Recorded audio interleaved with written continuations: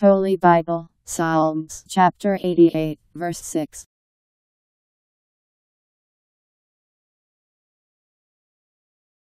You have put me in the lowest deep, even in dark places.